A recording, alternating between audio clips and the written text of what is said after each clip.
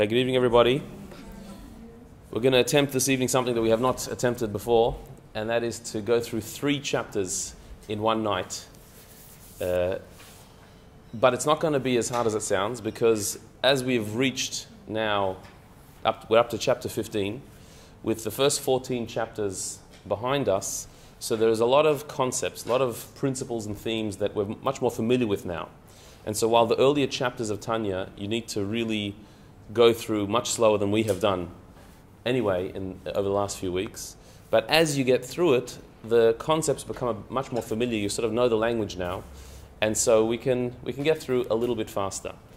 Uh, but also, these last three chapters that we're going to do this evening, uh, 15, 16, and 17, do go together as they are the end of the second section of Tanya that is going through, particularly getting to the real crux of what Tanya is about, and that is the mission of the Beinoni, the intermediate. And so, as we're going to see, chapters 15, 16, and 17 are giving us an insight into the day in the life of a Beinoni, some tools for the struggle that the Beinoni is up for. What we're going to see, particularly in chapter 15 now, is an answer to a question that may have come up in some of your minds. Recall that we mentioned, and Tanya quotes this at the very beginning, that before our soul comes into the world, we are made to make an oath be a tzaddik, do not be a rasha. We saw already in chapter 14 what the duality that, or the, the double nature of that oath is be a tzaddik and, and do not be a rasha. Because we said, well, if you're, not, if you're a tzaddik, you're not a rasha, so why does it have to say both? We explained that really it's saying try to be a Beinoni, don't be a rasha, don't allow yourself to slip to being a rasha and do everything you can to attempt to, at least in some areas of your life, be a tzaddik. And so, be a tzaddik, do not be a rasha. But why is there no oath to be a Beinoni? If indeed, for most of us, our mission is not to be a tzaddik, that's not what we're going to be. But we de- definitely cannot let ourselves be a rasha. So why does the oath not say, be a Beinoni? We never make an oath that I shall be a Beinoni. We make an oath to be a tzaddik as best we can, to not be a rasha, but we never actually make an oath be a Beinoni. So why does the Beinoni have to be implied in the between the lines of the tzaddik and the rasha without actually being, being emphatically, openly, and clearly stated that we'd never make the promise. Our soul did never, never made an oath that we will be a Beinoni. So this question will be dealt with in chapter 15 because in chapter 15 the Alter Rebbe explains how being a true Beinoni means always being in the struggle. While tzaddik and rasha are somewhat stagnant categories, Beinoni is a work in progress. It's different to a tzaddik and a rasha. A tzaddik is a tzaddik, that's what you are. A rasha is a rasha, that's where they are, they're stuck in that. Whereas a Beinoni is not so much a level as a journey. The Beinoni is not so much a description of who you are as a description of the journey you are on. A tzaddik has got there. They're not on the journey, they've, they've, they're, they're it. A rasha is sadly stuck, not on the journey, not going anywhere. A Beinoni is not so much a level, a, a category, in the same way as a tzaddik and a rasha are. A Beinoni is the description of somebody who is on a mission, who's on a journey, who is a work in progress. And, and this is what Tanya is trying to encourage us to be. This, I think, is, is a very important concept to, to digest because as we've been going through it, we've felt sometimes a little bit helpless in even trying to be a Beinoni. It's so far from our current reality. After all, the Beinoni never sins, never does anything practically wrong, even though they have the urge to do it. But to be on that level seems to be beyond us. But from here we see that the Beinoni is not so much a level that you got there, it's the struggle that you're in. It's being on that path of a. And so therefore, perhaps we who have not really yet totally left the category of rasha, we still can identify wrongdoings that we have done that we haven't fixed up and we may do again. But we can still perhaps call ourselves in the category, in a general sense, of a Beinoni, we're on the path, we're on the journey. That's what we're struggling, we're striving towards. And this is something that chapter 15 brings out in a fascinating way. In chapter 15, it starts by saying that in the category of Beinoni, there are also to be found two levels. Just like we saw, there's two types of rasha. There's the, the wicked person who has no regrets. Then there's the wicked person who's still wicked but has constant regrets. Just like we saw with the tzaddik, there's two levels. The tzaddik who is complete, totally disgusted by evil, and the incomplete tzaddik who is not disgusted by evil even though they're not tempted by it. So there's two types of rasha, two types of tzaddik in general. In Beinoni also, could, there are two types. And they're called one who serves God and one who serves him not. So here you've already reached a level of Beinoni, and now we're going to tell you, okay, but which type of Beinoni are you? Are you the Beinoni that serves God or the Beinoni that serves him not? What are these two levels? Yet the latter is not wicked. Even the one that serves him not is not wicked, is not a rasha. The reason he is referred to as one who serves him not is that he does not wage any battle against his evil disposition in order to vanquish it by means of the divine light that irradiates the divine soul. For his disposition does not confront him at all in an attempt to distract him from study and prayer, and he is consequently never obliged to wage war against it. Who are we talking about? Somebody who is a Beinoni, as far as practically speaking, they do no wrong. But they're not serving God because they don't have to put any effort in being a Beinoni. They're not waging any war because their disposition, their character, their, their personality is such that it doesn't confront the divine soul, doesn't cause an inner battle. They're not distracted, distracted from their studying, from their prayer, from, from doing good, and therefore they're not waging a war. Sound familiar?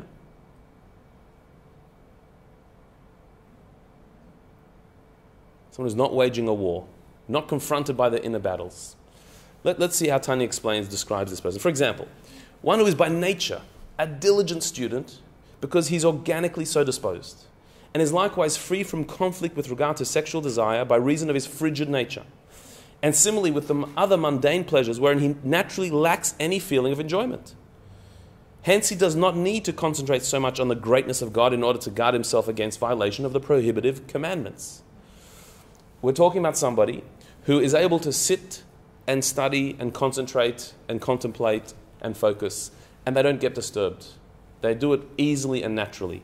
Their mind doesn't wander, doesn't run away and race into other things. They're able to just meditate, pray, study, and stick with it. It comes naturally to them. They have what in Yiddish is called Sitzfleisch. Sitzfleisch means, literally means the meat that, that, that allows you to sit. That, they, they, can sit and they, and they sit there. They're, they're not, they don't have got, haven't got ants in their pants. They're not, they're not running around. They're not all over the place. They're able to just sit and focus, and they can therefore pray peacefully, tranquilly, with total serenity. They can study Torah for hours on end without being bothered and distracted and having to struggle to get back to it. They, they're, they're naturally predisposed to sitting, studying, meditating, being in that state. So too in sexual desire, they don't have any yetzer hara, any evil inclination, any temptation towards immorality in the sexual area because they're cold in their nature. They're just not interested. They're, they're just not alive in that area. And so, therefore, it's not tempting for them. It doesn't interest them. They're, they're just out of that battle completely. And so, too, with other physical pleasures. There are people who just don't have a real kick out of physical pleasures. They just don't get excited. Uh, whatever food you give them, yeah, this, that, it doesn't, doesn't make a difference. They're just not excited by it. You, you, you take them to a beautiful scenery and they're just, they're just not interested. They're just, just not into it. So they're not tempted by anything physical, and therefore they're not tempted to do anything wrong because the pleasures don't hold any, any, any, anything in their soul. That, that doesn't drag them to anything. If you're not into pleasures, you're not into self indulgence, so what can you do wrong already? he, he, they just sit there and, and they say their prayers, do, do, they, they do their learning and their study, and they'll do whatever good they're supposed to do but they're, but they're just not pleasure seekers, such a person. And so, therefore, they don't have to constantly try and remind themselves of the greatness of God, of the importance of being a moral person, of the higher purpose in life, of the, the divine soul's yearnings. They don't really have to get into that because there's no opposition to it in the first place. There's nothing holding them back from doing what the divine soul desires. This world just simply does not hold any attraction for this person. Does that sound familiar at all? Not really? Can't think of, of anyone that you know that's like that? Don't mention names, but if you know, if, if you, um, it, it is, it's hard to really imagine such a person to that extreme, but I guess to some ex- extent, you can, there are, there are some people who just, well, it sounds like someone tzaddik.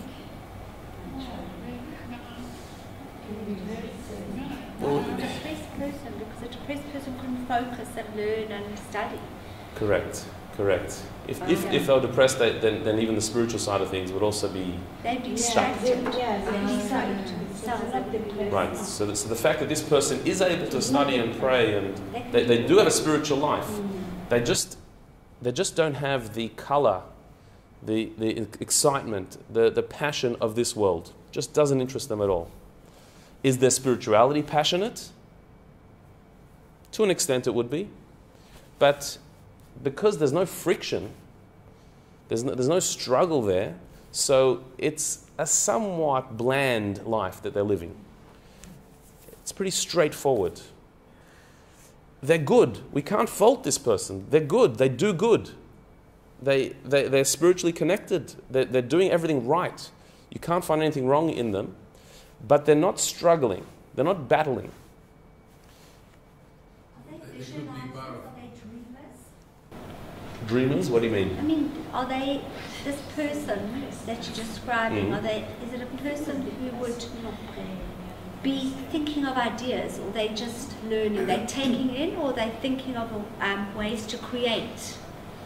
Well, that's an interesting question. They, they're certainly taking in their study, they're learning, they're certainly taking it in. But whether they're, they're looking for ways to create, to expand, whether they're ambitious or they have vision, not necessarily, because why should they? They've, everything they've got is fine. So why should they even bother moving forward from where they are? Their, their current circumstance is so balanced, They're happy with their lot. yeah, they'd be quite happy with where they are. Such fun. Yeah, yeah. The, when there's a struggle, when there's another side trying to attack, then you have to counterattack. When the animal soul is raging with desires and distractions, so then you have to battle back, you have to fight back. But he, this person doesn't have to. They just, they, it's, it's quite one sided, their, their battle. It's. A problem or an issue, or a challenge. It's just easily they they they can resolve it easily, or nothing's a challenge. Well, they probably they probably would be able to resolve things quite easily because they don't have the duality the rest of us have of seeing two sides of it. The animal soul sees the situation this way, our divine soul in a different way, and we're struggling to recognize which voice is which and which is true and which, which is false. This person doesn't seem to have that type of battle. Not because they've conquered their animal soul. Remember, that's a tzaddik. A tzaddik is somebody who has transformed their animal soul, and so they serve God with a passion. The animalistic passion has become holy. We're not talking about that here. We're talking about somebody who's not all that passionate in the first place, who, who is just uh, quite a, a lukewarm personality. And so there's no passion necessarily, and therefore there's no drive uh, to create or to, to expand or to go further because what for? Everything's fine as it is. It's almost like this person is a Beinoni by default, by accident. They're a Beinoni. They're not a Beinoni through struggling and getting there. They're a Beinoni because the, the, the enemy didn't show up. The, the, the, the, the other team just, just, just didn't come to the, to the contest. And so they're, they're born with this lukewarm character. So there's not much of a battle here. But are we on this journey to become like that? So is this, is this a good is this a good way to be? Is this our ideal? Is, it, is this is it? Is, do we wish we could have this level? No, doesn't sound all that good, does it? However, that kind of temperament is sometimes like I look at my day, today. I wish I actually had a little bit of that temperament because I would probably resolve things without the passion and just be more focused and get on with it. Absolutely, there is there is a plus to, to being being dispassionate in some of our decisions, but here we're talking about to, to quite an extreme where because then they're not tempted by this world at all, so then they're never passionate. To be able to go to a dispassionate place and to, to look rationally at a situation is a very important skill. And that we've been seeing is the, the real crux of being a Beinoni, is that the mind has to control the heart. The mind has to determine where to go. But controlling the heart doesn't mean negating the heart, it means directing the heart. But the heart then has to be passionate. Whereas this person, their mind controls the heart, but the heart is not all that wild in the first place. It's not all that energetic in the first place, at least on the animalistic side. And so, and so this person, practically speaking, again, look, it's a very high level. This person is a Beinoni. They, they do it all right. They, they, they, don't, they, don't, they don't transgress any of the commandments. They do everything good. But it's without a struggle. For him, for this person, continues the Alter Rebbe, for him suffices the hidden love that is in the heart of all Jews, who are called the lovers of his name. Therefore, he is not at all called one who serves, inasmuch as this latent love is not of his making or accomplishment by any means, but it is our inheritance that has become, come down from the patriarchs to the whole community of Israel, as will be discussed further. We're going to see in later chapters of Tanya this idea of a hidden love that we've inherited from our forefathers and foremothers, from, from, the, from the Jewish patriarchs and matriarchs. That we're going to see later on, but here, this Beinoni has a love for God, but a love for God that he was born with that is innate, that he didn't develop on his own, that, that is an, his natural predisposition. And that love is enough for him to maintain his level of Beinoni, to serve God on this level. But you can't call him someone who serves. You actually can't call him someone who serves God. Because he didn't achieve this. He didn't earn this. He was born that way. This is, this is a nature that somebody is born with. And they cannot take any credit for that whatsoever. They didn't earn any of it. It's not serving God in, in, in a way that you have initiated, you've developed, you've grown. It's, he was born with this placid nature and he's kept it. And that's it.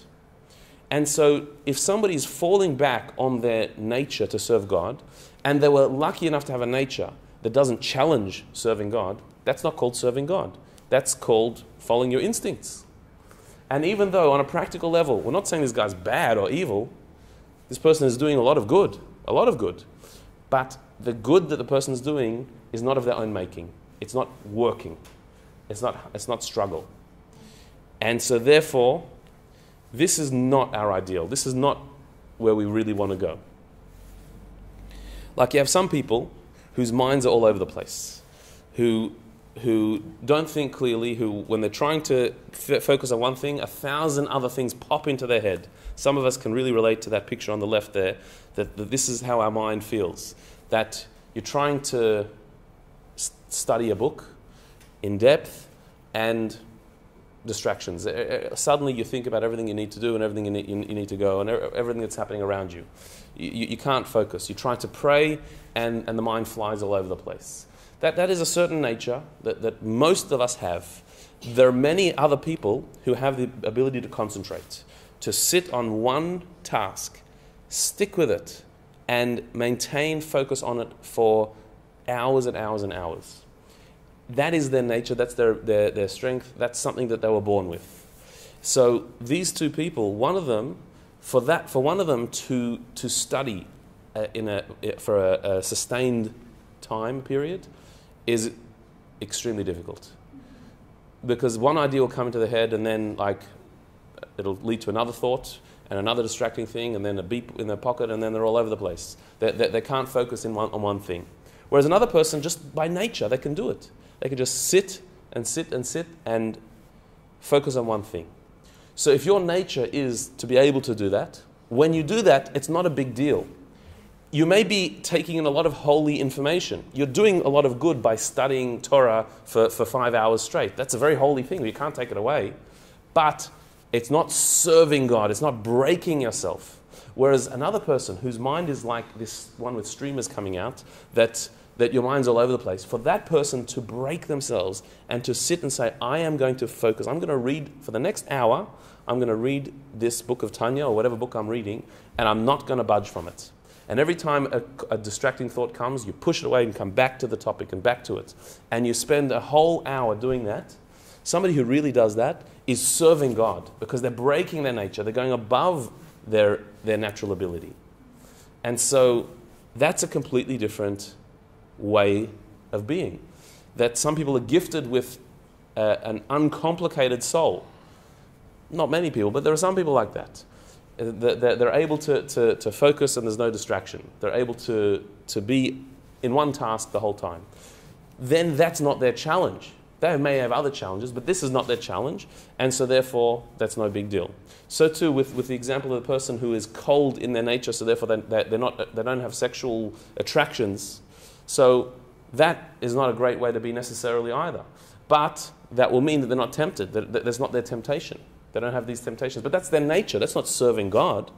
That's, that's, that's, uh, that's something that they're born with. So, so that is called a Beinoni who is not serving God because they're remaining where they are. How do you compare it to a Nazarite who refrains from drinking wine?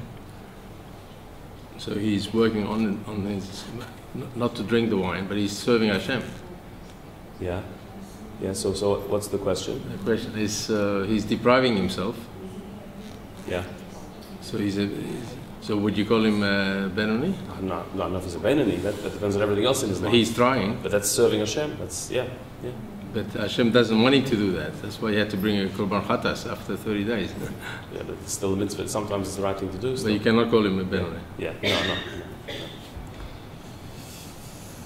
So, that's, this is one type of Beni who's not serving God, who's called not serving God because they're just following their nature. Another example would be so too, one who, although by nature not an assiduous student, has accustomed himself to study with great diligence, so that the habit has become second nature. For him too suffices the innate love unless he wishes to study more than his habit. Not only is somebody who's serving God with their nature not serving God, because that's just your nature, even somebody who that was not your nature, but you've developed a second nature through habit. If you continue to serve God through habit, it's no longer serving God. Only doing more than your habit is serving God. So I remember when I was studying in, in yeshiva in Israel, so a practice that I heard from one of my teachers was to try and, when studying, look inside the book that you're studying and not look up, not look out of the book. Even if you want to think, just keep your eyes on the page and see how long you could do it. And, and I tried it, like I could do it for an hour. I, I, after a while, I could do it for an hour.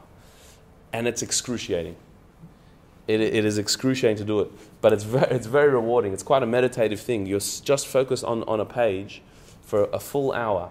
And so you're reading and studying, and you're not, that, that helps the thoughts not be distracted because you're not looking around. It, it's very easy to look around and notice things around you, people around you, and then you're all over. By keeping your eyes on the page, you train yourself and your focus becomes better. And by exercising this, you can actually, even a person who has the streamers flying out of their brain usually, can start to focus and be a more intense thinker, a more focused, concentrating, think, concentrated thinker. But once that becomes natural, once that becomes easy, so then that's not serving God either anymore. If you can do that for an hour, but that's natural to you now, you weren't that way before, but now you are. That's also not serving God, unless you want to do more. So, what this, what Rabbi, Rabbi Shneur Zalman here, the Alter Rebbe in this chapter 15 is trying to bring us is the idea serving God is not so much about how much you're doing, but it's how far you've gone, how much you're stretching yourself, how much there's a battle. If you're born with a, with a placid nature, so then that's great and you're a nice person. But to serve God means to become a nicer person than you were born, to expand yourself, to stretch yourself further, to do what's a bit hard for you, not your easy, not your nature. So too, if you were born not such a nice person, but you've become a nice person, but if that's through habit, once you've become comfortable in that level of niceness, it's no longer serving God, you have to stretch yourself further. If you're able to focus easily and study, and study for 10 hours a day, that's nice, but you're born that way. If you weren't born that way, but you trained yourself to do that, then you've also just become a habitual being that's not serving God. It's the stretch of yourself, it's the, it's the, it's the pushing yourself further than your boundary. That's where you're actually serving God. When you're doing a little bit more than is comfortable, that's when you're doing it for Him. You're not just being yourself anymore.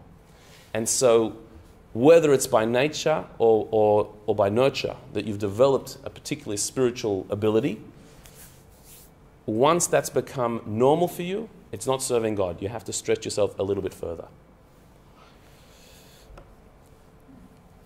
This will explain an interesting statement in the Talmud. The Talmud says about this one who serves God and one who does, does not serve God.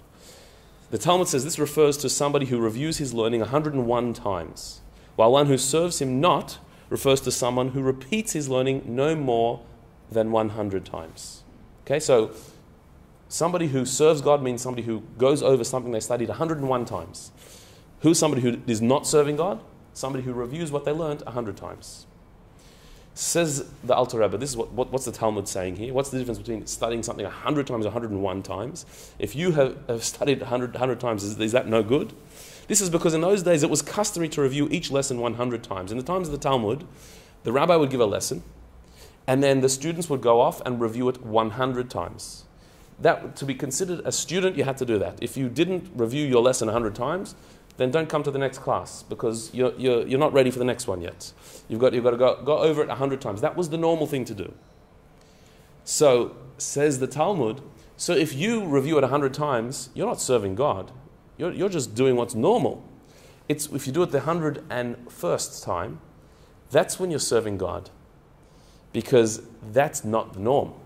That, that's not expected. That's not the habit. Doing it that extra one time is taking you out of the category of not serving God into, yes, now you're serving God. Now you're stretching yourself. Of course, that's until you get used to the 101 time thing. And then you have to do it, do it more. So, this is, this, the Talmud here is, is illustrating it in such an extreme way to show that the one time is only 1% of the 100 times that you did it.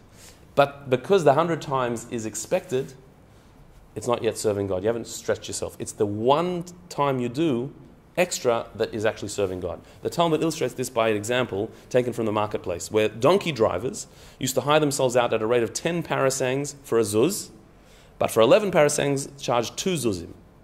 A parasang is a Persian mile. It's a, I think it's a, it's, a, it's a couple of kilometers. And so, and a zuz is, it was a, a yeah, a gold coin. So the price to travel 10 parasangs was one zuz. But if you want to go 11 parasangs, that's two zuzim. Double the price for one extra parasang.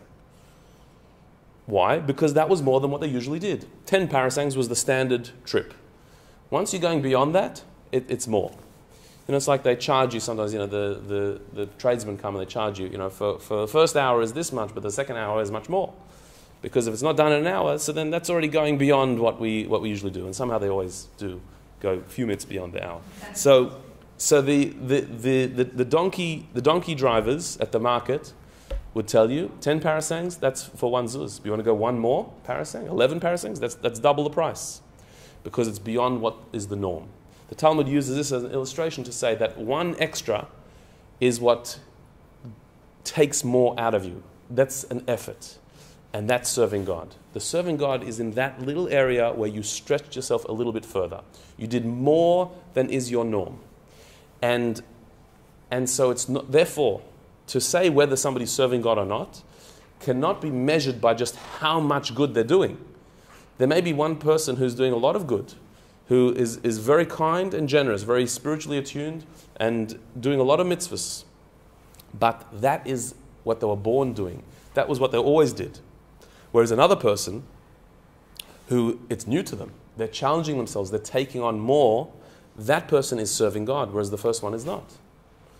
You know, many people ask um, about uh, somebody who, let's say, who grew up religious. And they might, they might say, you know, I know somebody who grew up in a religious home, but they're not a nice person, and they don't do this and don't do that, and I don't, I don't understand.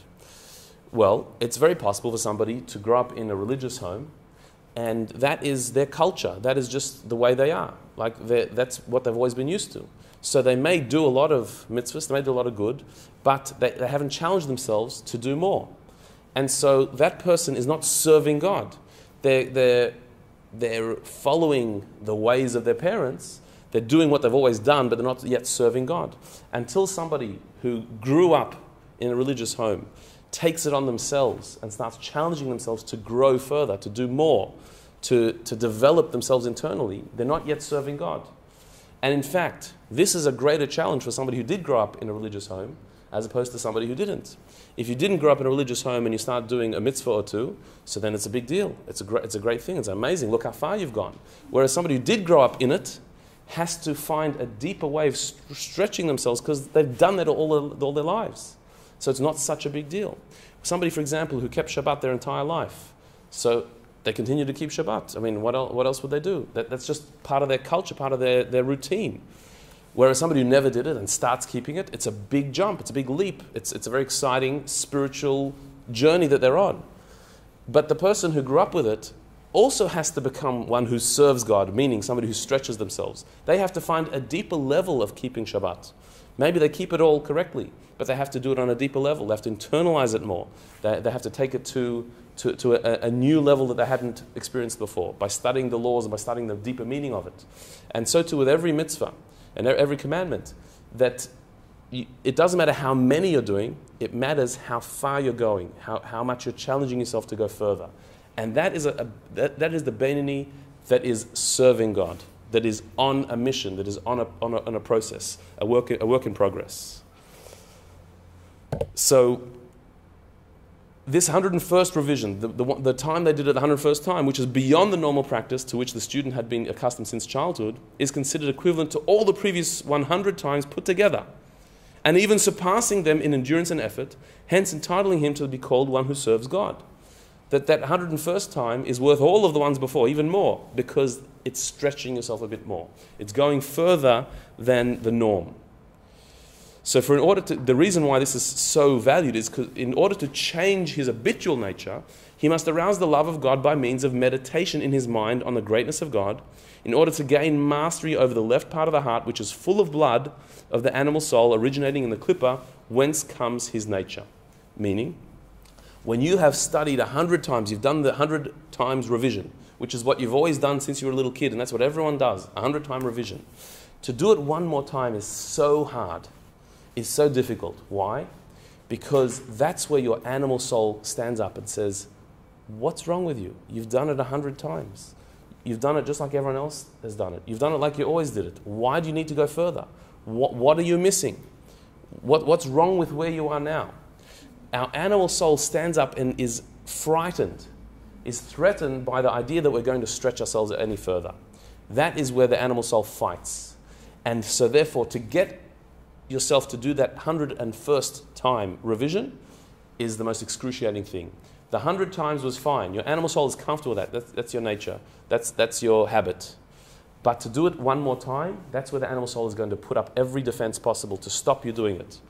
And so, in order to overcome that, the Beinoni had to arouse a real passion in their heart. They had to overcome the animal soul's resistance in order to do it again, to do it that, that extra time. And they had that means they had to dig deeper. And they had to develop a deeper commitment to God and, and to holiness. That I want to study and, and, uh, this, this extra time to really absorb the divine wisdom. I want to serve God. I want to stretch myself. And that desire to stretch yourself is only fulfilled by going deeper and revealing a deeper love, a, a deeper passion, a deeper energy that can overcome the animal soul in the left, in the left part of the heart that is full of blood, which is where the, the kelipah is, is sourced. Because that is our nature. Our nature is in our animal soul. The divine soul has a, is not nature, it's a, it's a higher thing. The, the, animal soul is our comfort zone. Going beyond it means arousing a deeper divine love. And this is, the Alter Rebbe, is the ultimate mission of a Beinoni. This is it. To be constantly growing a little bit further, to be taking little steps. Not studying 200 times, but doing it 101 times. Not jumping too far in your spiritual growth, but taking a little step more than you've done until now. Pushing yourself a little bit further. This is the ultimate mission of the Beinoni. This is what the Beinoni is all about. Somebody who is challenging themselves to do a bit more, allowing themselves to be a little bit uncomfortable, the animal soul at least, to be a little bit uncomfortable in order to create more divine energy, more holiness in the world. This is what a Beinoni is all about. Yeah. In the Torah, it says Torah tziva lanu Moshe, the Torah which Moses, Moses commanded us. And the word tziva, the three letters, make up to 101. Mm-hmm. Tzadik is 90, Vav is 6, 96, and He is 5. So here we have a hint from the Torah. You should go 101, not 100. Correct. Yeah, yeah, that's right. From the word tziva. Yeah, very good. Very good. Okay, so this is the this is the message of chapter 15 that you've got to take yourself further. You've got to, to serve God, you've got to be stretching yourself a step further. In chapter 16, the Alter Rebbe addresses another level in the Beinoni. That it seems that the Beinoni's life might be a little bit dry. Certainly, the Beinoni that doesn't have struggles, that's a dry life, but even the Beinoni that does have struggles, if you're doing the right thing, even though you don't feel like it, even though you're not inspired to do it, how passionate can you be if your heart is not in it? If you're constantly overwhelming your heart, overcoming your heart, beating yourself, stretching yourself. So, isn't there a time when that snaps? Doesn't eventually is there is there no if there's no heart in it, if you're if you're not feeling it, if you're always breaking yourself, so then isn't there a time when that catches up with you, and you just say, I, have had enough of this. I'm exhausted if you're always going that 101st st- stage, pushing yourself further, so then isn't that a time when that just gets too hard? For the tzaddik, the tzaddik is somebody who has beaten their animal soul, controlled it and turned it around, and so therefore their entire passion is for good. The Beinoni, on the other hand, still their heart is not fully with the program. Their heart all does stray, and they have to constantly beat their desires, overcome their desires, overwhelm them. So, isn't that going to become a negating of emotional self and a dry existence where you're not feeling it, you're not really with it? And if you're constantly doing that, aren't you going to snap eventually? Isn't it going to fall apart? How does a Beinoni keep up with this struggle if they're constantly negating their heart? So, what we're going to see in chapter 16 the Alter Rebbe clarifies that the Baini indeed serves God with inner passion and heartfelt conviction, conviction, not merely practical commitment. They're not just committing themselves against their desires. The Beinoni is, has, a, has a very colorful emotional life, and their commitment to doing good, to godliness, is with inner passion and, and with, a, with a lot of feeling. It may not be to the same level as a tzaddik. They haven't reached the level where their heart totally flows with their divine soul. They still have the animal soul as a resistance. However, that doesn't mean that there's no emotion going on in their spiritual work. They're very much having a, a passionate uh, and, uh, and heartfelt relationship with God. And in chapter 16, Alter Rebbe offers a method to awaken a deeply emotional spirituality, even though you're not a tzaddik. You may be not on the level of a tzaddik where your heart is totally pure where you have no temptations, no desires that are evil and selfish. You're not on that level. But nevertheless, because the divine soul does have a base in the heart, the right side of the heart, there is a, a divine emotions there. Even while the left side of the heart is still not totally purified, you can still have a passionate, deeply felt emotional bond with God and do good that is, that is uh, emotionally backed up. Let's go into chapter 16. This then is the essential principle regarding the divine service for the Beinoni. The main thing is to govern and rule the animal nature that is in the left ventricle of the heart by means of meditation in the mind on the greatness of the blessed Ein Sof, the infinite one. And this understanding will arouse a spirit of knowledge and fear of the Lord in his mind, and at the same time creating the love of God in his heart in the right part with a fervor and desire to cleave to Him through the fulfillment of the precepts of the Torah and of the rabbis, and through the study of the Torah, which is equivalent to them all. What these words mean is that what's the essential principle? What is the life of a Beinoni about? It is about governing, ruling over, controlling the animal desires, keeping them at bay. How do you do that? By utilizing the mind The mind has to meditate, has to be clear on what's right and wrong. The mind has to saturate itself with, with divine wisdom, with a sense of holiness.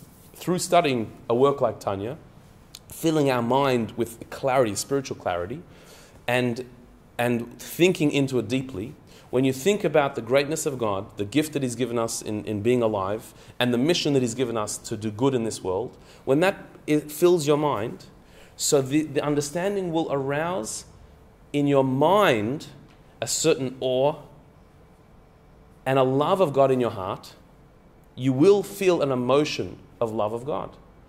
When you really contemplate the greatness of God, the, the fact that God fills all existence, God is not just a player in the corner of the universe somewhere, God is the truth of everything. God is, is all, and all is God. When you contemplate on that idea that God is everything, God is in everything, God, God is the, the source and the truth and the existence of everything, there's nothing devoid of Him, nothing separate from Him. He's, he is the reality. This will arouse in you a love of Him. Because if you think about it, we have a love in our heart. Before we decide what, we what we love, the love is already there. Our, our heart has the capacity to love. The heart is just waiting to be told, What should I love? So before you're aware of anything, the heart has love in it, has the power of love. It's waiting to see, What should I love? Who tells the heart what to love? Your mind. What you see in your mind as being good, your heart loves. What you see in your mind as being no good, your heart avoids, doesn't want, hates. And so you in your mind have to clarify what is good and what is not. And your heart will follow that. So, and this is true of everything in our lives. Anything in our life that our heart desires is because our mind tells us, tells us that this is good. And even if we realize it's not good, we still think it is good, we convince ourselves it's good, and therefore we love it and we chase after it. Even if all the facts tell us otherwise, but we haven't really processed those facts. We're, we're still convinced that it's good somehow, somewhere. We only love that which we think is good. If we know something is bad, we don't love it. But the knowledge has to be clear. When the knowledge is clear, you, then, then the love follows. So if we meditated on the idea of God, that God is the source of all goodness, there is no blessing in the world that is not from God. There is nothing in the world that's not from God. All, all comes from Him. All of our, our life, our existence, everything is Him. If that would be real to us, our heart would automatically be filled with a love of God. Indeed, the left side of our heart is still our animalistic side that still has desires for things that are not good, the thing, things, things that, that, are, that are selfish and immoral. But the right side of our heart will be filled with a love of only goodness, only what God wants. Because if the mind gets it clear, the heart follows.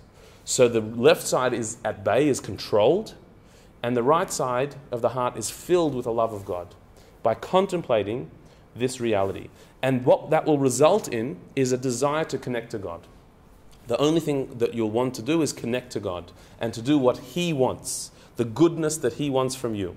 And that will be expressed through fulfilling the mitzvahs, fulfilling the precepts of the Torah. What mitzvah is there I can do? What can I do to connect to God? And so there's the spiritual acts that we do between us and God, and then there's the acts that we do between us and a fellow human being. Both of them are, are uh, of, of equal importance because this is the way we express the divine will.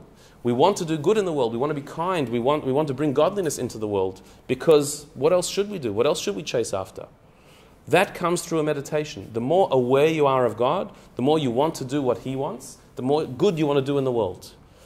And to do something selfish, immoral, hurtful, is, is just, why would you do that? Your, your, your heart still may desire that on the left side, your animal soul, but you've got such control over that because it's clear what you're supposed to be doing, that you're supposed to be doing the right thing. And so while you may be tempted to do something selfish and immoral, your mind is in control and says no to that side of the heart, and the other side, the good, holy, elevated side of the heart, is full of passion for doing good. This is where the Beinoni exists. This is the essential principle of the divine service of a Beinoni. Now, he makes it sound like quite a simple process that, that if, you, if you fill your mind with the concept of God, you'll only want good and you'll only do good and you'll, you'll go on the right path. You want to do all the mitzvahs, you want to study Torah, you want to, you want to be, be good to the world, you're only going to want to do the right thing. But our experience is somewhat different from that. We all know that there are times when our mind may know the information, but it doesn't fully impact us to actually act on it.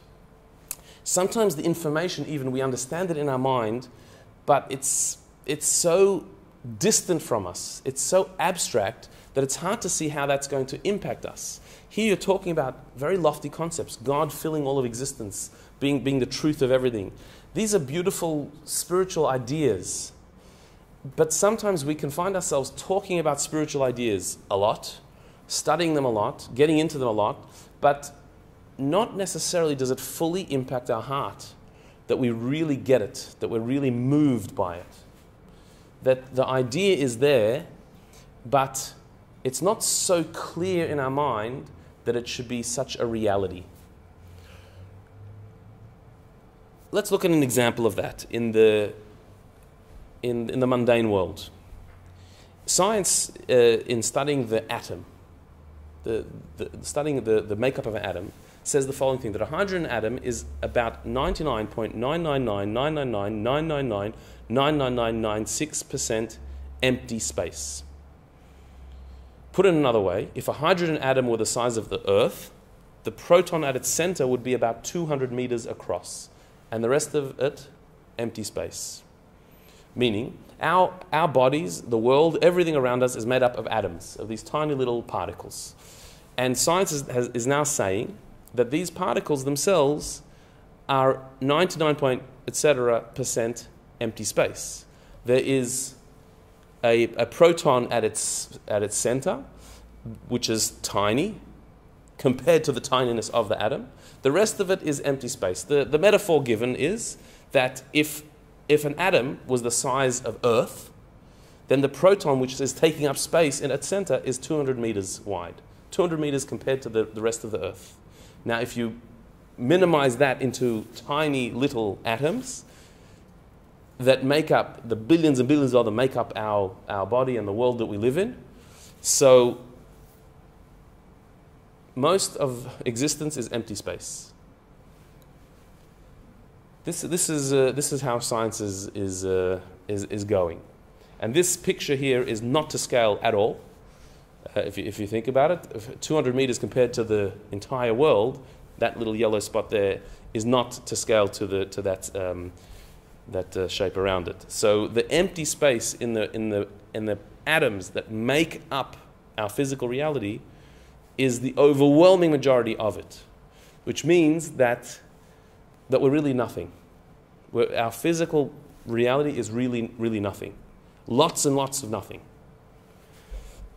to the point where if you remove the empty space from atoms, the world's human population would fit into the volume of a sugar cube. Right? If you took all the human population of the, of the world and just took all the empty space away and just took what is taking up space and crammed it together, it would be the size of a sugar cube. So if you, if you just took away all the emptiness. And they say if you, if you took the, the entire population of all of history, it would fit into a, a baseball. That, that, that's how much space uh, it would take. Now, look, this is just a scientific idea, it's a, con- it's a concept. And we can, we can talk about it and discuss it. I'm, I'm no scientist, but okay, I get, I, get, I get the gist, I get, get what it's talking about. But do, like, do we really get that? Do we really understand what this means? Or is it a, it's a, it's a concept, it's a theory. It's, it's something that we, we can discuss and we can enjoy, we can be fascinated by. And, and there are people who spend their entire day on this very topic, studying into these things.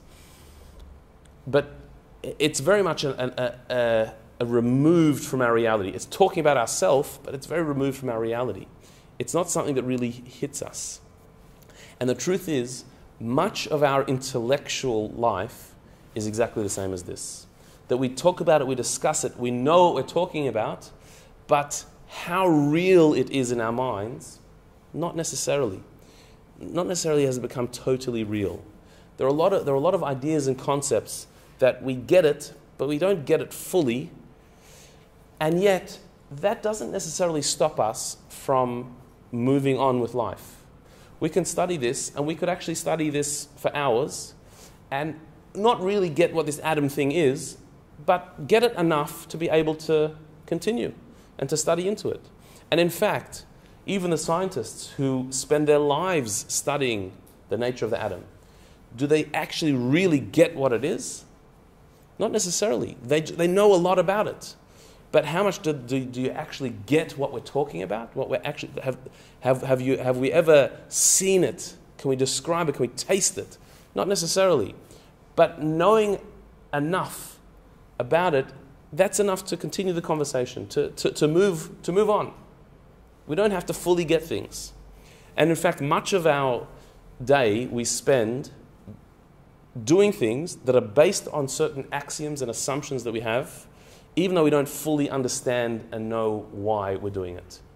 Much of what we do. Most of us don't really understand, for, exa- for example, um, the way the economy functions. Like, we don't really get it. And, and when, when, when, when, you know, when uh, the budget is announced, like exactly what it means, we don't really get it. We just want to know what's the bottom line. You know, what, what does it mean for us? Like, so we, we're getting more money or less money. We have to pay more or, or pay less. Like that, that's, that's what it, it means in the, in the end. The exact technicalities of it, we're not all that sure. But that doesn't stop us from talking about it. Or, you know, political issues that are happening in the world, conflicts that are happening. We don't exactly know all the sides and who they are and what they're, but we know enough to be able to form an opinion and to decide what we think is good and what we, we think is not good. Many things that we talk about in our, in our life there's a certain level of understanding we have, and that's enough for us to function.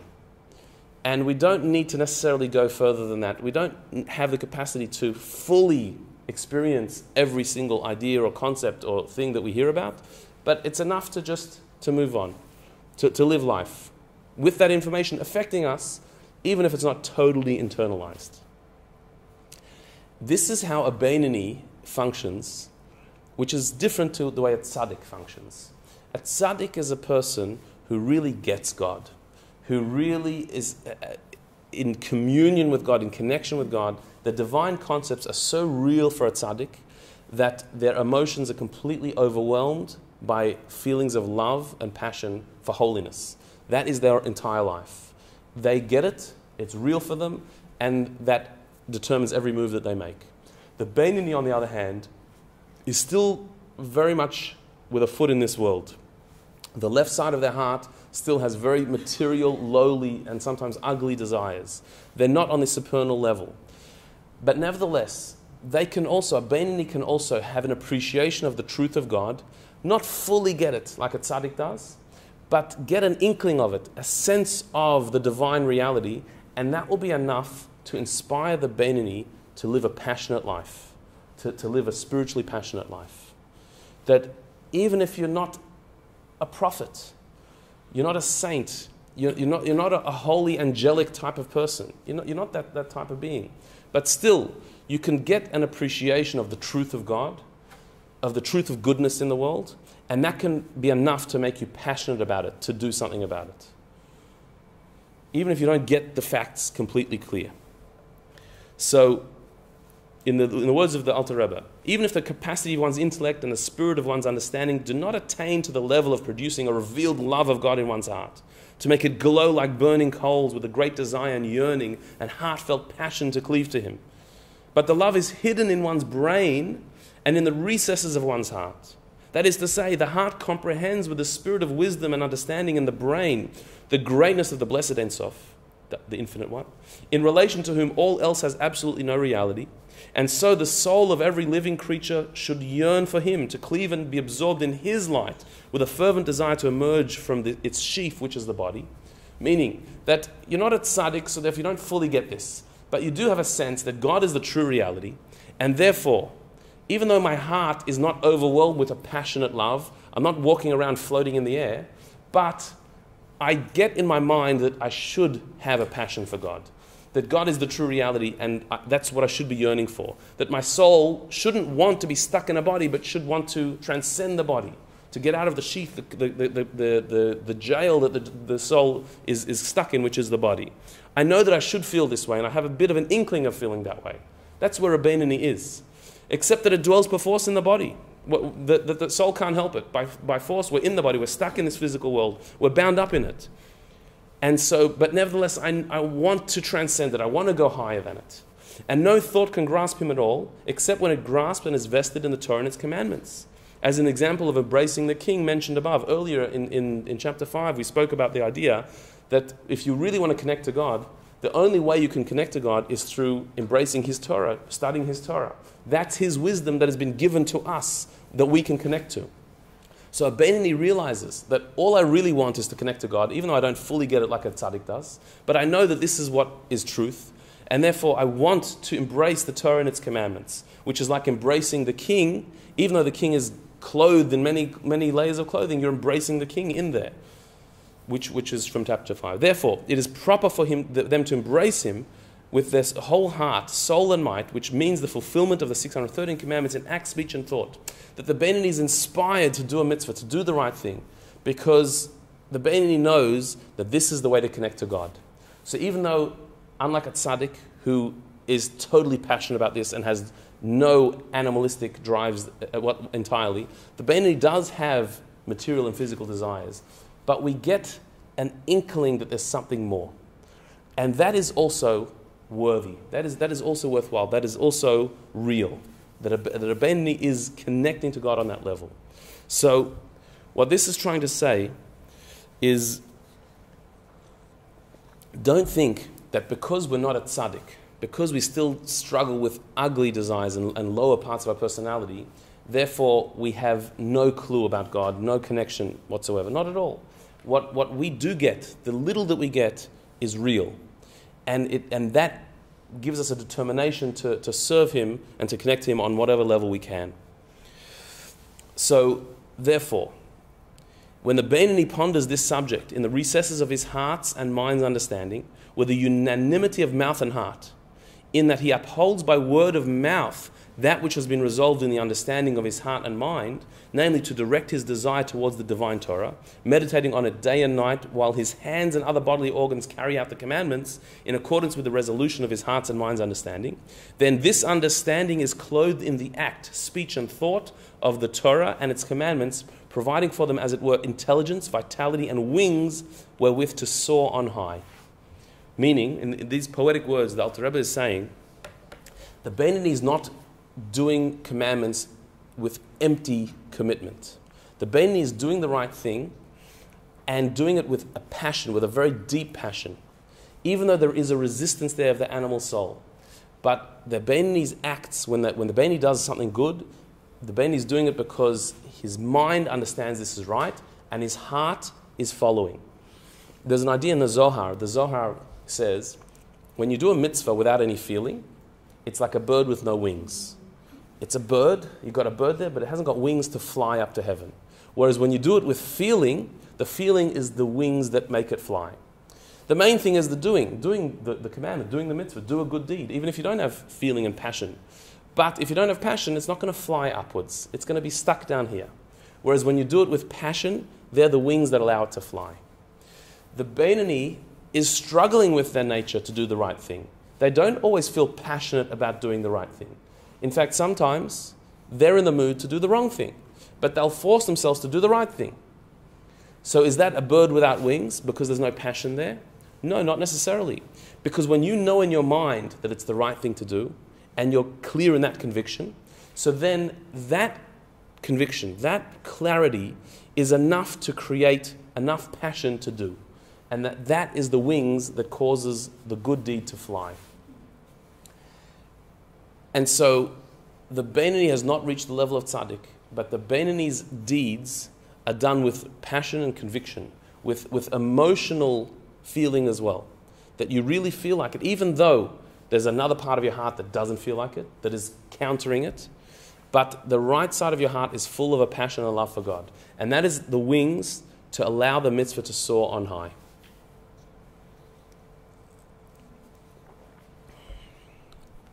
So, so what we see from chapter 16 is that the Beinoni is doing good that is thorough good. Not empty acts of goodness, not things by rote. They're, they're doing things with passion, with feeling, with, with a full gamut of emotion. that is where the Beinoni has reached.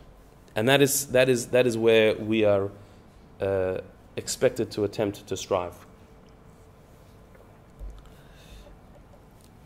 And to conclude, if we go back to the very title page of Tanya, before Tanya even began, on the title page where the Alter Rebbe set down his aim in writing this book, Tanya quotes the verse from the book of Deuteronomy This matter, the Torah, is exceedingly close to you, in your mouth and in your heart to do it. Now, that verse is the theme of Tanya that serving God, being close to God, it, it is close to you. It is exceedingly close to you, in your mouth and in your heart to do it. Now, with all we've learned until now, from chapter 1 all the way till now, which we're, we're entering into chapter 17, we can understand why indeed it is accessible to us all.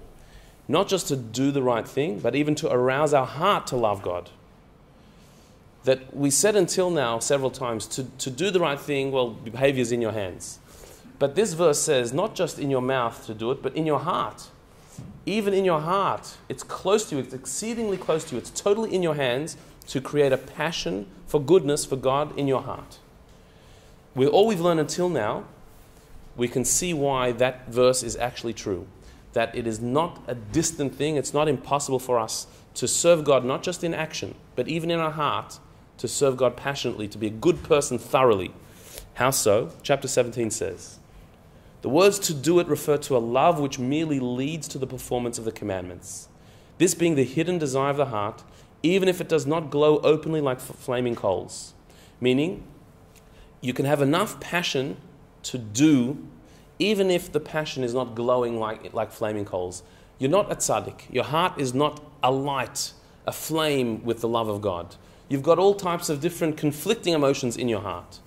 But if you're able to do it, that means your heart is behind it. Because it's not possible to do something if there's not some emotional drive to do it if you don't really want it. And so, therefore, to do it in this verse means that you can do it with your heart. That is available to you. The love that allows you to perform the commandments. This thing is very near, and it is easy for any person who has brains in his head. For his brain is under his control, and he is able to concentrate it on anything he wishes. If then he will contemplate on the greatness of the blessed Ein Sof, the infinite one, he will inevitably generate in his mind at least the love of God to cleave unto him through the performance of his commandments and Torah. Like we said in the previous chapter, that, you that it's the mind that is the key. If your mind contemplates on what's right, the heart will follow. And you've got a mind, and your mind is totally in your control. You can decide what you're thinking about, what you focus upon. That is up to you. And so, if you generate in your mind that clear thinking, then it will arouse enough love of God to get you to move, to do something.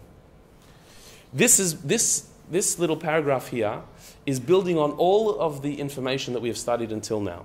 That we saw in the very early chapters of Tanya, that a person is made up of intellect, emotion, and behavior. There's the way you th- you think, there's the way you feel, and there's the way you act.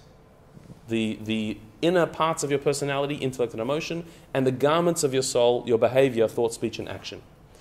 Now, thoughts are not going to determine your action. Your heart determines your action. You have to be passionate. You have to want to do something. It can't go from intellect down into action. It has to go through emotion. And so, therefore, you have an idea in your mind that you know is right, but you're not going to do anything about it if your heart doesn't want it, if you're attracted, if, if, you, if you're moving elsewhere. But we have learned that the mind directs the heart the mind determines where the heart will go. Now we've got two sides to our heart. We've got our animal side and our divine side, the left and the right. The animal side of our heart desires that which is lowly, that which is selfish, and that which is immoral. Our right side of our heart is pure and is ready to want that which is good if our mind fill, is filled with a clarity of what's, what's right, if we, if we think about God's mission for us in this world and what we're supposed to be doing, if our mind occupies itself with concentrating on that, then the heart, on at least the right side, will follow. The left side of the heart will be dragging behind, will be resisting, won't want this. But the right side of the heart is open to that. And if you, if you fill your mind with that, the right side will be filled with enough passion to at least quieten, if not turn around, but quieten the left side of the heart, and that will lead to action, that you'll do the right thing. It all depends where your attention is. If your attention is in worldly matters, if your mind is occupied with the mundane world, so then the left side of the heart with its desires is going to, to determine what you do, and you're going to follow your selfish desires. Whereas if your mind is full of what your mission is, what does God want from you, what is right, what is moral, if your mind is full of that, that activates your left, the, the, the right side of the heart enough to override the left side, to quieten it. Not, not get rid of it, but quieten it enough that your actions will follow and you will do that which is right. And if, as long as you've got a brain in your head, you've, that you've got. So then you determine what fills your mind. What information do you, do you fill your mind with? That is totally up to you. And therefore, it is totally available to all of us to think the right thing, therefore, feel the right thing and do the right thing. All the while, with another side of our heart not wanting to do the right thing. But we're just not giving that attention. We're not giving our attention to that side of the heart. We're controlling it, we're neutralizing it. And this constitute, constitutes the whole purpose of man. This is what we're in this world to do. For it is written, today to do them. This verse is a verse in the Torah that says, Today you've got to do the commandments, you've got to do the right thing. Today, referring specifically to the world of, the, of physical action, while tomorrow, in the afterlife, is the time of reward. And this, in, this, this uh, concluding idea, what the Alter Rebbe here is saying is that today, our life in this world, which is called today, is about doing, doing the right thing. As far as having reward, as far as feeling good about what we're doing, that is in the afterlife. That's after this world. To live a, a life of peace, of tranquility, of spiritual serenity, that is something that we come to in the afterlife. That we don't get in this world. A tzaddik gets it in this world, but that's not us. We live here in the here and now, which is the world of struggle, and our job is to do the right thing. This is what we're here to do to put in your mind the right ideas, which will inspire your heart with the right passion, which therefore will lead you to do the right thing. This is what we're here to do. Today, to do them, says the Torah. Today, you've got to do what you've got to do. Tomorrow, in the afterlife, in the next world, you'll get the peace and tranquility. That's just not going to happen in this world. That's not for here. A tzaddik, a tzaddik experiences it in this world, but that's not our thing. Our thing is to struggle. And and so this is what this is our purpose. This is what we're here to do, to, to struggle. Just a, a thought to leave you with. This idea that the Alter Rebbe says that today to do them and tomorrow um, is a time of reward. You could also understand it in, in another way. That to be a Beinoni means that there's only actually one day that you have to not sin. There's only one day that you have to do the right thing to be a Beinoni. Only one day and that's today. You just, just today have to do the right thing. That's all you have to worry about to be a Beinoni, is today. One day, today to do them. Just do the mitzvahs. Avoid doing the wrong thing for today. Tomorrow we'll talk about later. We'll, we'll, we'll, we'll worry, about, we'll worry about that later on. But there's just today that you've got to do, do things right. That's it. If you focus on that, so then it's totally realistic. What you, what you can't go one day without, without doing something wrong and immoral and evil. You can't go one day without being, t- being selfish and indulgent. Just, just do one day of doing the right thing, of being good. How do you do that? By putting in your mind that what's my mission today? What am I supposed to do today? What goodness can I bring into the world today? This is what I need to do today. Once your mind is filled with that, your heart will be ready for it. The left side of your heart will be quietened, and that's what you'll do. Just do it today. Tomorrow we'll, we'll get the reward for it. But today we just have to be good. We just have to do that for one single day. And that, says the Alter Rebbe, is Karov Elecha. It's close to you. It's completely realistic. This is not out of the, out of the question. So, so what do we see? In chapter 15 we saw that the Beni always strives to take another step and do a little more than their nature and their habit allows. Just to stretch the 101st time a little bit further, that is where the Beni is, the one who's always growing. Chapter 16 said that even if the heart is not openly excited about it, the mind can always inspire action because the mind directs the heart. And so you may not be a tzaddik who's totally passionate about holiness, but your mind can be filled with it, and that will inspire the, the, the, the heart to inspire action. And finally, chapter 17, this is indeed close to us all. This is realistic to achieve. You just need to be a Beinoni just today. Today you need to be a Beinoni, and that's all that's asked for you. That, that's, that's, that's all that's demanded of you, to be a Beinoni for one day, which is today. So, with this, we, we have concluded the second section of, of Tanya. From, we, we started with chapter 1 till chapter 8, which is the first section of Tanya, laying down the, the, the basics of who we are, what, what our makeup is. Then from chapter 9 to chapter 17, we looked at the categories of a tzaddik, a rasha, and a Beinoni, and we've focused on the Beinoni as being the possible man, the person that each one of us can be uh, if, we, if we strive. If we're in the, the, the battle, then we're a Beinoni in progress. And next, we're going to see in the next series, the next section of Tanya, which tells us that our souls contain far more powers than we realize. Chapters 18 to 25 unravel the awesome energy that our soul already has without us even realizing it. Before we've even started this whole battle, there's a huge amount of energy that our soul has that's waiting to be tapped into. If only we knew, we could reach so much higher in our quest to be a Beinoni if we just know what our soul already contains. And that, the Alter Rebbe will tell us in chapter 18 onwards, God willing. Thank you.